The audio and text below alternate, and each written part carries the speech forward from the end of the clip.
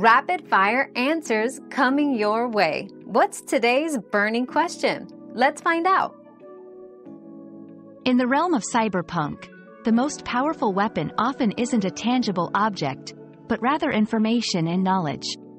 Mastery over digital landscapes, hacking skills, and the ability to manipulate data can overpower conventional weapons by controlling the environment, influencing decisions, and gaining leverage over adversaries.